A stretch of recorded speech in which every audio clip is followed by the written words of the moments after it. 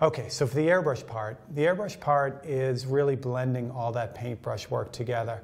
If you take a step back and look at it right now, I mean, it, it reads the way it's supposed to read, um, but it, it, there's that element of really that hard edge that the paintbrush gives that we want to kind of blend out.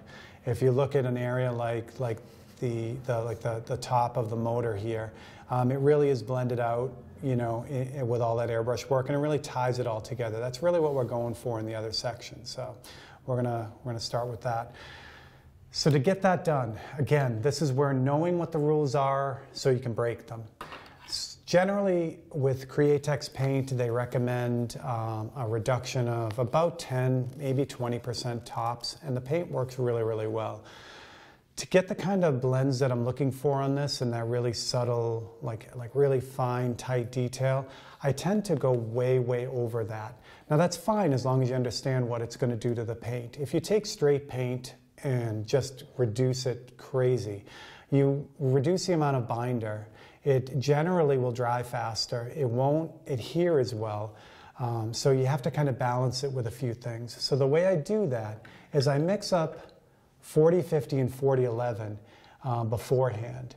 And this is 40, 50, and 40, 11 in a 1 to 10 ratio. So there's one part of 40, 50 to 10 parts of reducer. Again, this is way over the reduction ratios that they recommend. It produces this almost like the consistency of um, like whole milk. Um, and that's what it is, is basically it's just spiked reducer. Uh, you can't really call it 4050 anymore. It's really just reducer with 4050 in it. But what I do is I have different ratios of that same thing. So here is a 1 to 2 mixture of 4050 and 4011, which is much thicker. And this is one part 4050 to two parts reducer. And I have all different kinds. So there's a 2 to 1, which is mostly 40 50, two parts 40 50 to one part 40 11. and I mix up a small amount of these. These bottles are only about, these are an ounce bottle, and I only mix up about, you know, I'd say an eighth of, of the bottle. And you do that because two reasons. One, it gives you this mixture ready to go, but by mixing up a small amount, it's the same kind of thing as the palette. You don't want to mix up too much of this because as soon as you add reducer to anything, the paint or 4050, it kind of starts the clock ticking on this paint or on the, on the, the medium, the 4050 in this case. So I would rather run out of this and have to mix up a little bit more than to um, mix up a whole one ounce of this and then have it start to, you know, kind of set up and dry. So you just mix up a little bit of this. I put a little mixing ball in there, and that really keeps things mixed up really well. And again, it just adds this kind of whole thing together. The other big reason I do this beforehand is because when you mix 40, 50, and 4011, there's generally about a 10 minute window, or not window, but a 10 minute wait time while all the reducer kind of emulsifies with that 4050. By pre-mixing this, you basically set that up so that it's always ready to go. Uh, you don't have to wait the 10 minutes at all because it's already mixed up. So that's kind of how that works. And this is what I do when I'm airbrushing, so I can get this kind of to work really fast. One other quick note before I get too far into this is paint strainers. So I, I strain all these paints as I use them. And the reason why is because as these bottles get older, paint will dry on the top of the bottle and on the inside where the air is. And what happens is, is little bits of that paint will flake off and end up back in the bottle. So I usually use a small paint strainer. This one's a reusable one that was made for me. And um, you can use um, different materials, but using the actual paint strainers are really nice because you can get the openings just the way you want them. So 200 micron is uh, generally what we recommend for the, the, uh, the Createx paints. Uh, and then um, smaller for the candies. Uh, but this really removes all the foreign matter and all those little bits of you know, weirdness that are going to be in the bottle of paint as you have an older bottle. On a bigger application of paint and a bigger airbrush, you, you know, taking out the tiniest, tiniest bits of paint won't really make a difference, but when you're dealing with a really small area, a small bit of paint can really kind of give you fits. So, all right, so what I'm going to do is I'm going to start with the same cobalt blue black mix on this. Uh, there are two colors that I'll use to blend in here.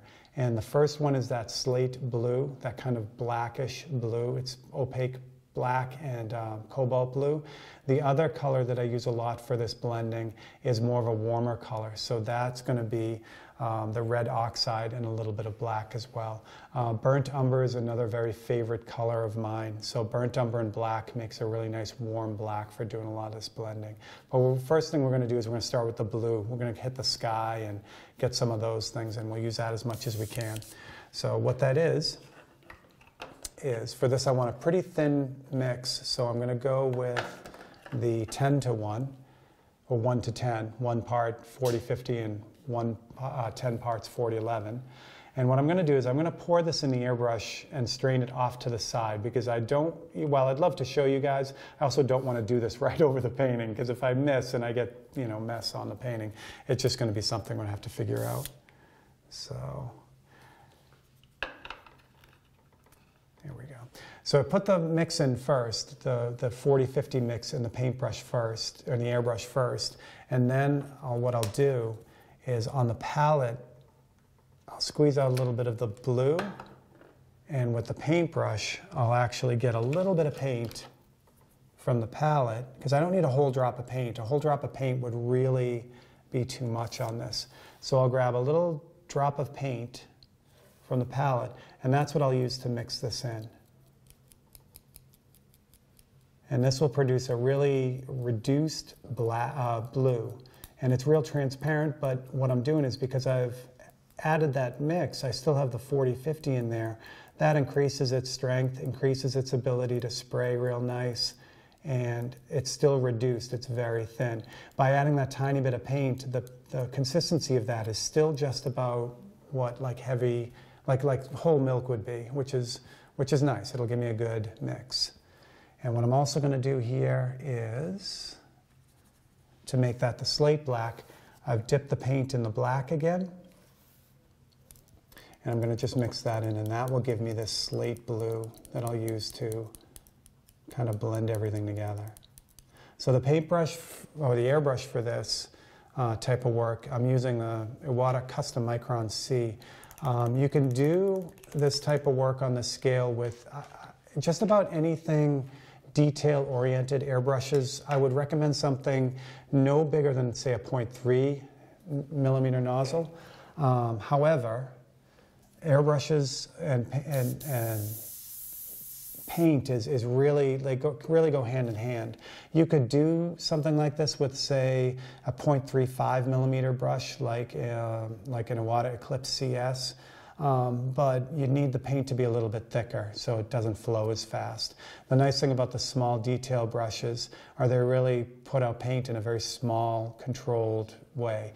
It's not great for doing big areas, but they're not meant for that either. So that is, that's what the, the Micron really excels at. All right, so I'm going to test this off to the side. Make sure this is working, and it is. So what I'm going to start doing is I'm going to start with the fade on the top there's a good chance for me to kind of do a bigger area before I get into doing any of the details. And move the lights a little bit too here so that we get less shadows on here.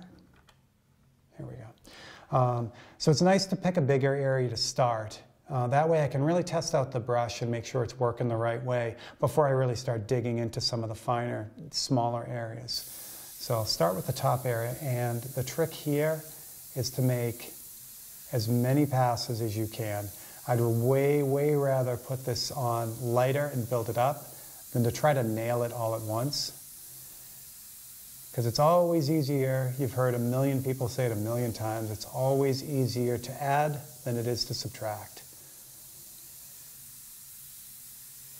So what I'm doing is just making multiple passes, kind of concentrating on the top edge, but then kind of fading it down as I go. And that will give me that, that really subtle fade that, that, uh, that I'm looking for for that, you know, as the sky kind of turns over. Now that I know that, that that paint is really working the way I need it to, I'll start doing some of the tighter areas. There's a fade on the front of this air cleaner right here. So now that I know the paint is performing the way I need it to perform, I can kind of start getting in tighter and getting these areas here. See how the beauty of mixing up these colors or the mixing up the uh, 40-50 and the reducer beforehand? You have a consistent mix. So you have a you know 20 to 1 mix or 10 to 1 mix and it's always the same. While that won't always translate to working with the paint the right way, and what I mean by that is every paint has almost like a different character to it. White, white sprays differently than black, and that sprays differently than yellow ochre and blue and all that. It does give you a baseline of reducer to, to 40-50 that you can start with. So you'll know that, say, white has a harder time spraying. So I'm going to use a little bit, you know, I use a 40 or the 40-50 mix that has 20 to 1, for instance, instead of, say, 10 to 1. And it'll give you that baseline where you're not always guessing. Once you get it down, you'll be like, okay, if I'm going to do details with white, I know I'm grabbing the 20 to 1. Or if I'm doing black, I can use 10 to 1. Um, so it really gives you that, um, that, you know, really nice way to kind of, kind of keep things sane. Okay, so before I go on, I should mention how I mix those up. These little mixing cups are great for that. These are little medicine mixing cups, and normally a paint, uh, when you're mixing paint to certain ratios, you'd use bigger mixing cups that have the ratios on them. When you're mixing tiny amounts of paint, these little medicine cups work really, really well. They're gradated, they have the, the, the mixture on them or the, the amounts on them. So all you really have to do is kind of do the math on your own. You don't have to be perfect. If I'm mixing up, say, a 20 to 1 mix, um, if I get somewhere between 20 and on the just over 20 to get you know to that 20 to 1 mixture, uh, that's really all you need to do. It doesn't have to be perfect. Um, if you're close enough, uh, that's good. There's a 212.5 mix, so if I'm doing 10 to 1, I can bring the reducer up to 10 and then add a little bit more paint to it till get about halfway, and that's going to be close to 10 to 1. Same thing with 5 to 1. You know, you get close to that. Um, it really gives you, you know, you put you in the ballpark. It doesn't have to be perfect, but these little cups make a make a great way to kind of mix that up, uh, and also keeps you from mixing up, you know, a gallon of this stuff, which you don't want. All right, so this is really working out well. All right, so let me do a little bit on the foot pad here. So with this blue, I can start by dragging out that fade. I don't want to go crazy because this is going to have the black on it too when I airbrush. But this blue will really kind of start that fade for me. And I'm just using, a, well, it's a fade stroke. So as I'm starting the paint on the dark side of this pad, I'm just fading it out as I kind of bring it across. And again, multiple passes over and over and over again. I'd rather really slowly build it up than to try to nail it in one shot. There's no, no reason to do that. Okay, same thing with the, with the area, the, the shadow on the pants. This is going to be a little bit of both this color and also that burnt umber black mix. So I can start by just kind of like bleeding in some of the fades. So what I'm doing is I'm just kind of working over the paintbrush strokes. This blue I'm also going to introduce in the skin tone as well. And I know that sounds weird, but this works as a great, this blue against the, the uh, against this, the warmth of the skin tone will produce this really nice gray because they cancel each other out because of where they are on the color wheel. So this blue-black mix will really work well to kind of start that, that shadow. It'll cool off that skin tone. And that's what's going on. The reflections from the bike are hitting my hand in the reflection, so they're naturally cool. So this will be a good way to start that. Okay, so for the fun stuff, like up in this, I have no idea what this is. It looks like it's part of the trees. It's part of the bike too, this, this weird shape up here. So with this, again, this is where an airbrush like this really excels. It, you can just breathe the paint out. I mean, you think paint and it comes out of the brush that way. I'm running it about, I'd say this is about 10 or 15 pounds of pressure. I love to run this paint at a higher pressure um, because it just helps the paint break off the airbrush really well and atomize really nicely. But because this color here that I've mixed up is so thin, um, I'd rather not have a ton of air. So this is dialed down. So I'm just kind of mixing in this blue where the trees are and those other, whatever those other details are, I have no idea what they are. Okay, and speaking of trees, run across the air cleaner and again, just kind of start blending those paintbrush strokes that I used for the for the trees and start blending them. As long as I'm going really lightly with the blue, the blue will always just kind of play really well with the green that's in there anyway. So I don't have to worry. I don't want to do too much of it because I don't want to overpower it. I'm also going to set up a little bit here. This black plastic 103 panel has blue highlights underneath it. So I'm going to kind of cheat right now and base that darker area in the bottom with blue. What's going to happen is when I spray white over this later, it's going to pick up that blue and shift, and that's what I really want because that will then become a, this really pale blue highlight underneath. It's kind of secondary reflection. Also around the screw, I kind of dropped the ball and didn't do the, the rest of the details around it. So I'm just going to kind of base the whole thing in blue and then I'll go back in after with the paintbrush when I'm doing the highlights and finish them up. Okay. Another good candidate for this blue is the shadow on the ground that I, that I cast when I took the photo. Now this is impossible to see, but this, is, this works the same way as the blue I just sprayed in the black panel. What's going to happen here is when I go to lighten that up after, that blue will pop out and that'll, that'll give me the, the coolness that I need on that. So I think we are good. Oh, I want more blue up here because you can see the reflection of the tank in the top of this. So we'll base this out with blue as well.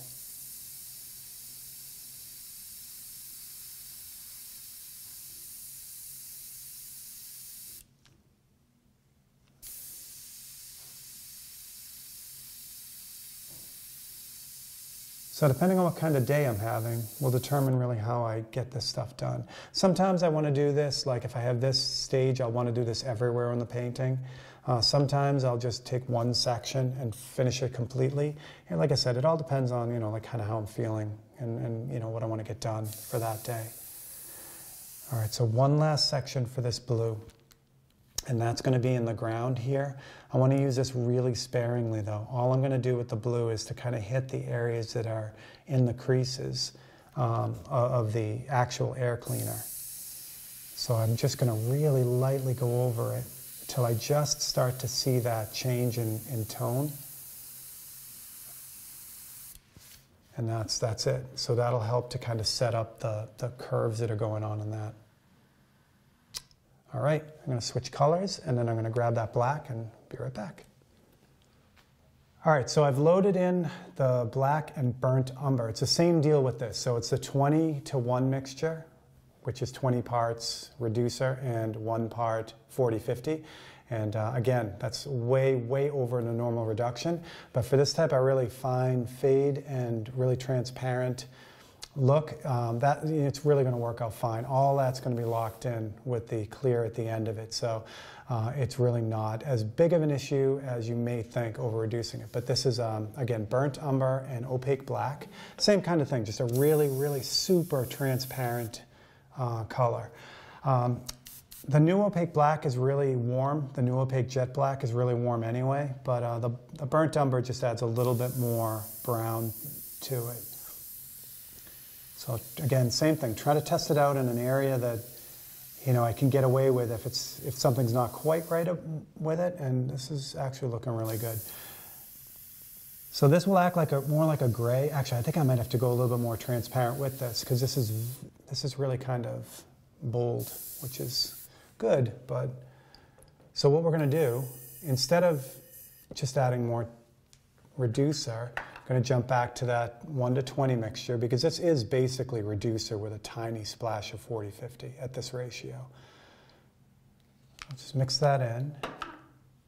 And then what I can do is with a paper towel, just kind of push the needle into the paper towel and then bubble that back up. And that'll mix it in. So you can see how transparent that is.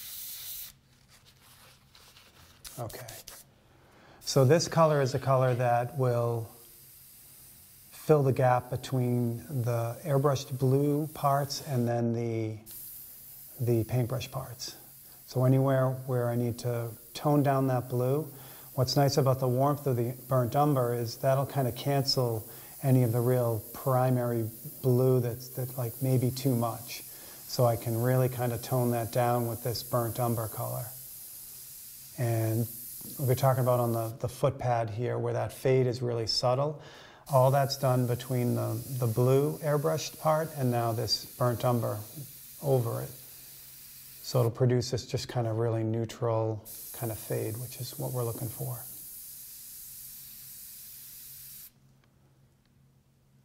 So again, just kind of run around the whole thing, pick the areas that need that, and this looks pretty good. There isn't too much of that that needs to go on here. Couple different checks and we're good. All right, so the next part from here, I'm gonna leave that in the brush just in case I need it again. The next part is I'm going to start pulling out those really bright white highlights. And this is the fun part. This is really the frosting on the cake kind of thing. And what I do is it's the same deal. It's um, I palette a little bit of white out, white, not white out. You don't want to use white out on your paintings. Um, I'll put a little bit of opaque white on the palette and then a little bit of reducer. Um, again, the opaque white doesn't need the 40-50 in it, so I can just reduce it with the palette, with, with, the, with the paintbrush.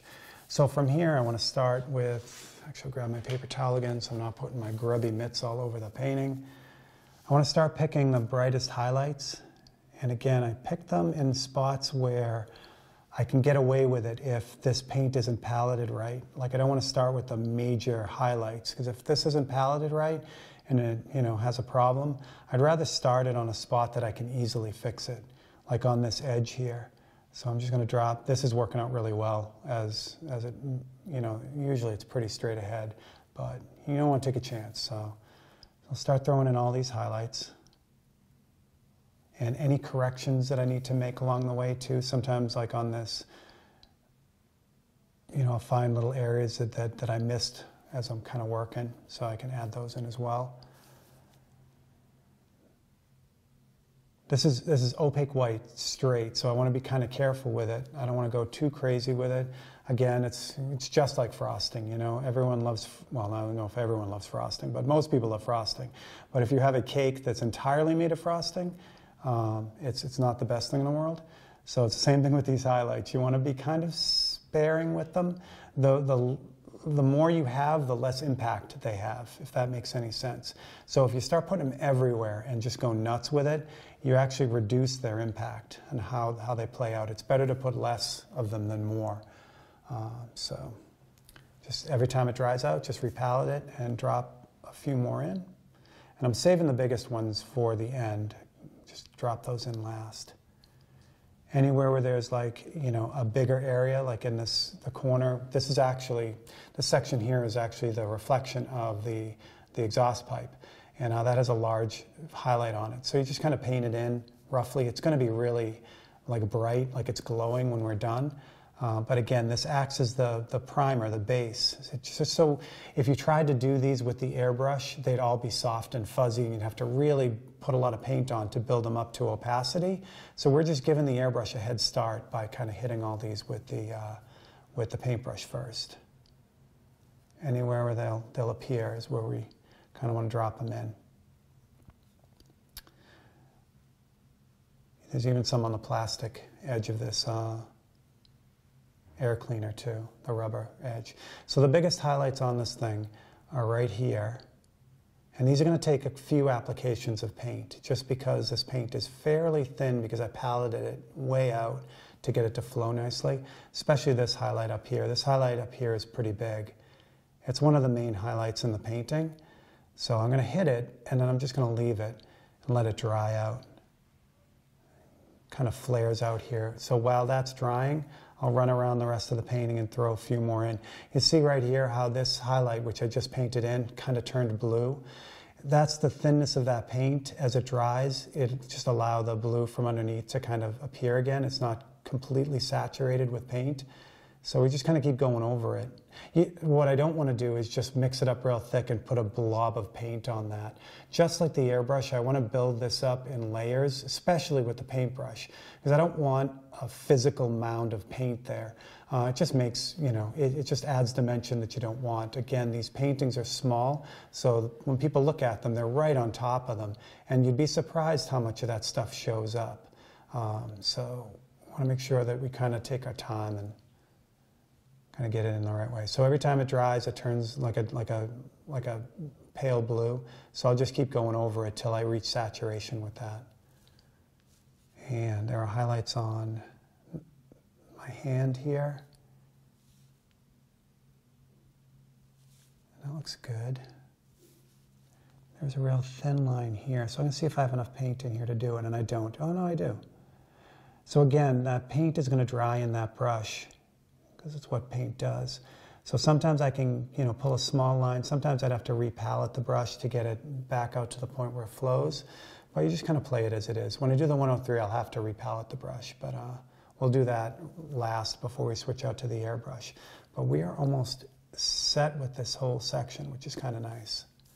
A couple more highlights. Another highlight up here too.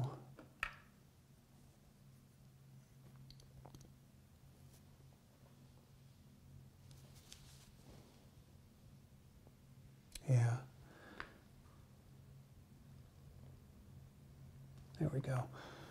So that's good. These big highlights here have finally kind of got to saturation. As I'm letting them dry, they're pretty much staying white. So that's, that's, a, great, that's a great sign. That's just where you want them. I'll go them a couple other times just to make sure they're really locked in. I'm going to hit them with the airbrush and make them really glow. But again, I, I want to make sure they're at saturation, they're fully white by the time I get there. Because if I go and try to put the the, just the airbrush spot on there, I'd have to build it up so it was saturated and then it would just, you know, kind of get out of control. Just make it, you know, bigger and bigger until it's out of control. So we don't want that. All right, so finally the 103. So this is where it's fun. There are two ways that, or two things that I do to get this to work, and I kind of take the pressure off myself by doing it this way. It's, uh, the 103 is on a black background, pretty much a black background. So what's nice about that is I'll be able to make corrections to, to the white as I go. So I want to try to get it, I want to try to get it right, but I also am not overly worried about having everything be perfect on this first pass because I'll go back in and clean it up after.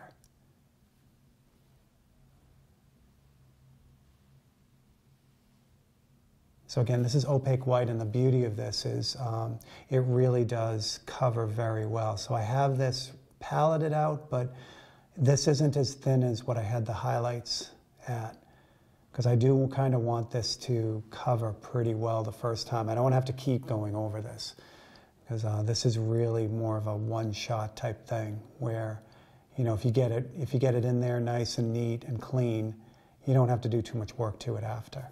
Now what I am going to do is I am going to turn it this way. Again, it's that range of motion thing. My hand really wants to work up and down more than side to side.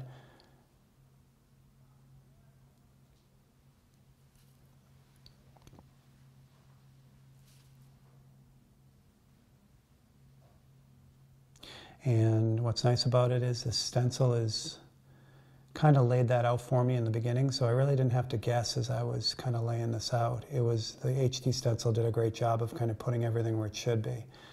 You'll also notice I'm not, I mean, I'm trying to stay in, you know, in those lines and keep it clean, but you'll see in a second I don't have to be like right on the money. I'll be able to clean all that up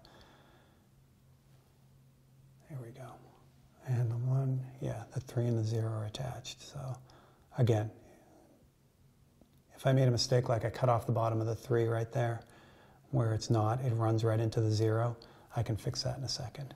So what I want to make sure is before I move on to the black now, again, now that this is dried, the 103, I want to check for places in here where it kind of grayed out, where I didn't have complete saturation. And any place like that, I'll just go over real, real quick again just to kind of get that to 100% saturation. And again, I'm not really, I'm trying to stay take clean and tight, but don't really have to worry too much about it because the next stage will clean all that up. That looks pretty good. Okay, perfect. Clean off the brush a little bit. So now I'm going to switch to black. Now, the black isn't 100% saturation here on the background, so I don't want to, I want to make sure that this is paletted out a bit with a bit of 40-50 because what I want is I want that black to be black, but I also want it to be slightly transparent. And that will help me in that when I go to start cleaning up the edges that you won't see this black outline around everything. So on the side here, you can't really see it, but it's the same thing. I'm just paletting out the black on the brush but I'm adding a little bit of that burnt umber to it in the 40-50. So with that, it gives me kind of a warm brown, but it's also semi-transparent. It's still pretty opaque, but it's got some transparency to it. So it'll help me clean up these edges and cover the mistakes that I made with the white, but it's not so like deep jet black like it is out of the bottle that it'll leave this black outline around the whole thing, which it would. It's, the opaque paint really is strong that way. So I kind of temper it. Still want it to do its job, but I want to kind of temper its ability to kind of be nighttime black. And I screwed that up too. Excellent. I love screw ups. So the one has a, uh, the one doesn't go like that. The one actually goes right across. So I'm going to fix this by kind of going back to the white real quick and then just connecting that the way it should be. There we go. That's better. So any of the other fixes that I have to do around that will be, again, with the black. And the, all these paintings, they, they are all, this is exactly what it is. It's all back and forth. It's always a tractor pull, you know, it's just back and forth. It's never that you do something, for me, it's never, I never just put it down and it's right automatically. I mean, sometimes things work out great and things kind of come together the way they should. But more likely than not, it's a back and forth, and that's fine. Because what happens is it gets you in the mindset that you know anything that happens can be fixed, and that's amazingly powerful. So if you if you're totally wound up about I got to get this right, it's got to be perfect on the first shot, or else it's garbage. It can really put a lot of pressure on what you're doing. But if you know you can fix anything, if you know that you can like, you know, just kind of solve a problem that kind of pops up um, it just frees you when you're working. You know, you know that you, you can you can just kind of mess around with stuff and you can make stuff work. So it's it's a nice thing, and this paint really does a great job at that because you have the ability to work really transparently, or if you need it super opaque, you can do that too. So it gives you a lot of options to kind of mess around with. All right, so I'm just running around the edge of this and cleaning up those edges and making it look like I hit it the first time exactly right. And of course, I'll tell everyone that I hit it exactly right the first time and it came out perfect. Which I won't do that, I'm only kidding. All right, so there we go.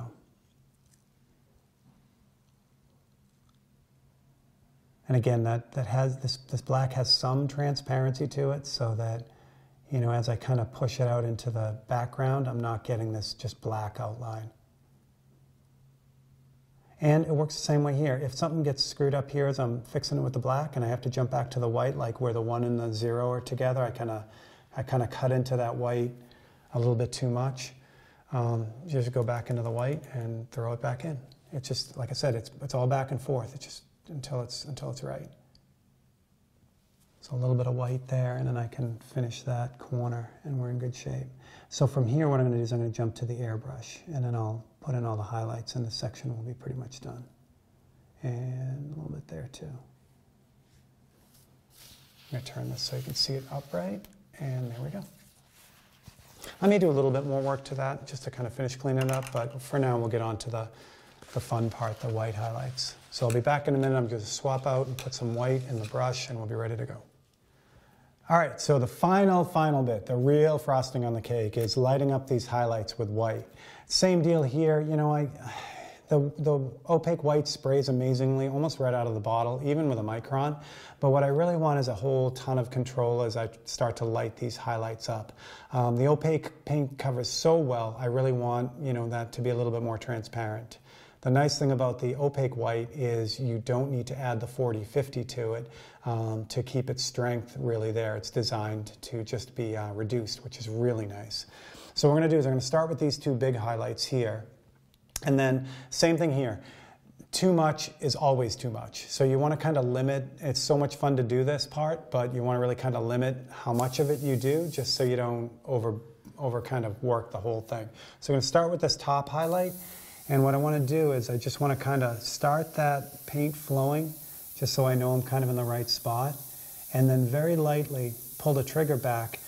And as the paint starts to come out, I stop and let it dry. So I just let the air flow onto it.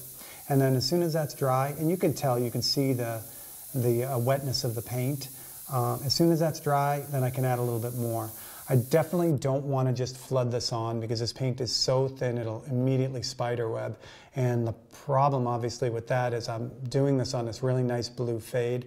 If I have a spiderweb of white paint go across this, I literally have to redo that whole section. So it's not something I really want. So it, that is the real balance right there. It's being able to have control over that paint, have it be able to spray really transparently and in control layers, but to be able to control it as well. So you got to re really work with a lot of patience with it.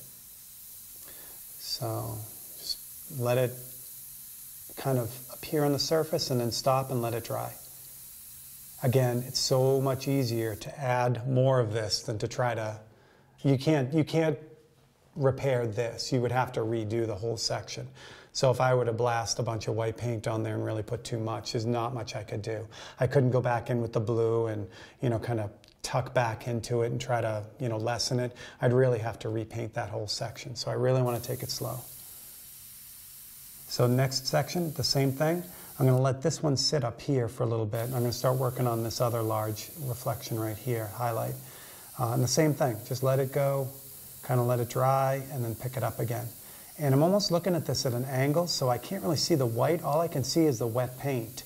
So as it appears on the surface, I get it to the point where I can see the white paint, the wet paint, and then I stop and let it dry. And it dries to a dull, kind of a matte finish, which is really nice and easy to see. And there we go. So that one's done now too. So I got those two. I'm going to hit this other top one in a minute, but I'm going to just kind of run around and grab some of the other ones real quick. And again, it's the same deal. Now that the, I know that the paint is flowing the right way on these big ones, which are easy to kind of control because they're larger, now that I know that the paint is flowing the right way and I've gotten used to it, I can start tackling these little ones. You wouldn't want to start with the little ones only because, you know, if the paint isn't quite right, you need to reduce it or thicken it up a little bit. If you start with these small ones, it's a bigger chance that you'll have a problem, a blowout or something like that. So this one here I'll grab.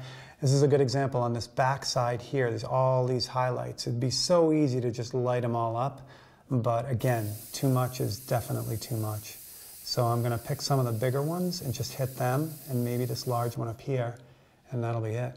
There is a nice bright white highlight on this bolt here that holds the air cleaner in so I'll kind of get that in there too.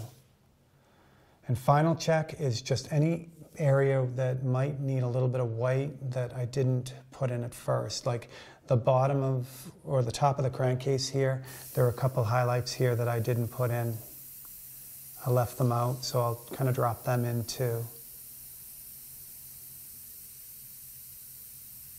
All right, and that's it.